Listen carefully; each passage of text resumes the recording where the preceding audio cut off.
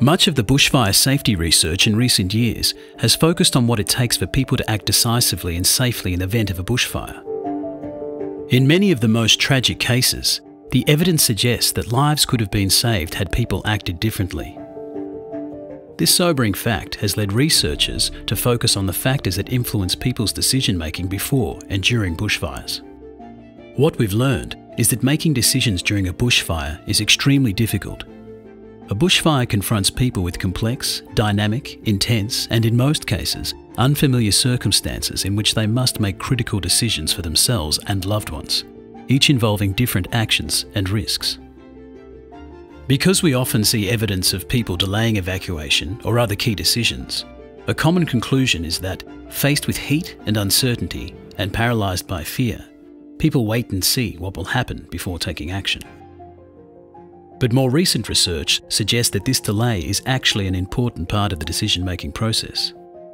Rather than procrastinating, people are actively engaged in determining their most appropriate course of action.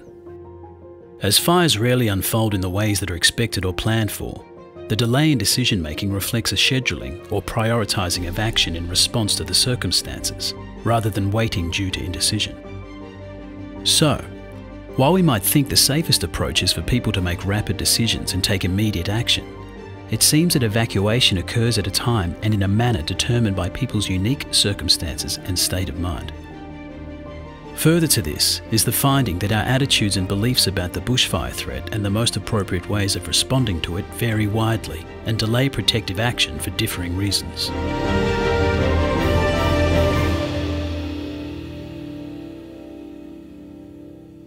Researcher Ken Strahan has been working with the Country Fire Authority in Victoria to develop his research and embed it into bushfire engagement and communication activities. Ken has used cluster analysis to identify seven householder archetypes. That is, characteristics that typify people when it comes to their perceptions of and responses to bushfire threat.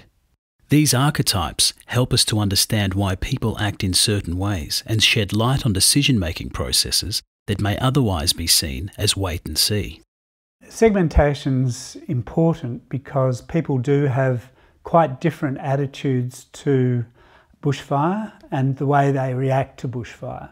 So um, the fire authorities need to understand those differences and to use them in their um, both their education, in their engagement, and also when there is a fire uh, to communicate with them in ways that are meaningful.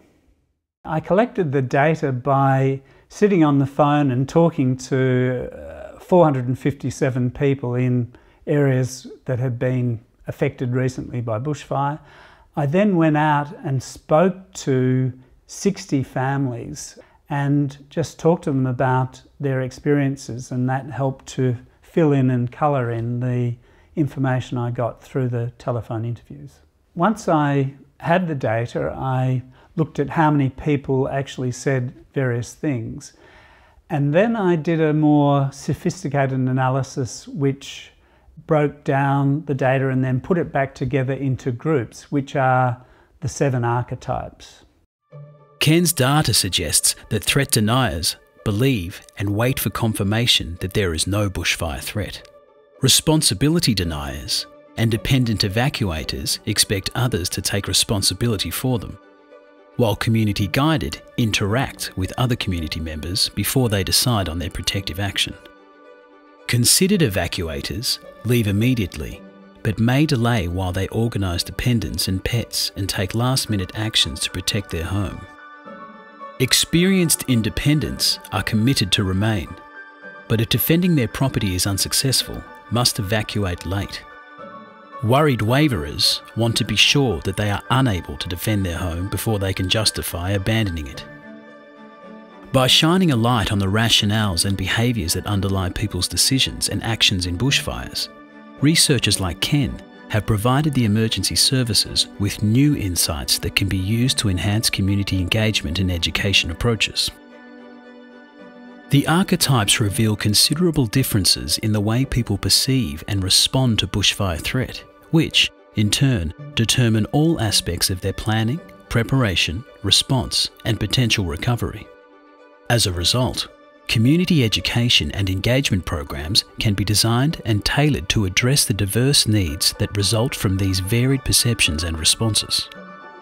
For example, considered evacuators primarily require assistance with planning safe evacuation and finding reliable sources of information about escape routes, while worried waverers need to test their planning and, even more than others, establish clear triggers for evacuation.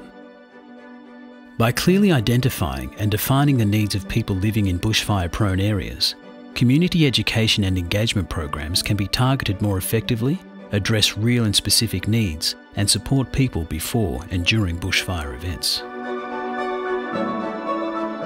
In order to understand the bushfire response archetypes more deeply, we need look no further than your average Australian community. Across the population, we'll see a mix of bushfire experience, risk perception, confidence, knowledge, and preparedness. We know that these attributes shape people's relationship with bushfire, and we also know that people will let this relationship guide their actions in the event of a bushfire. By honing in on each bushfire archetype, we can see how this relationship works, both before and during bushfire.